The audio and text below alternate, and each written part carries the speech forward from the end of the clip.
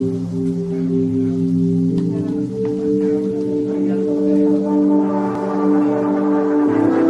ponen una pletina que simula como un test de embarazo, es súper sencillo, y se esperan 15 minutos a la obtención del, del resultado.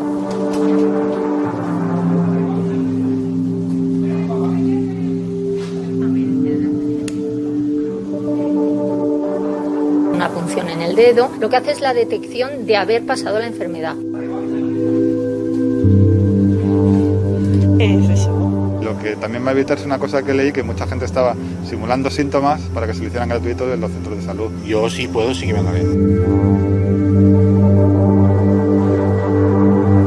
Apelamos al sentido común de que cualquier positivo que se detecte en casa se notifique a las áreas de salud.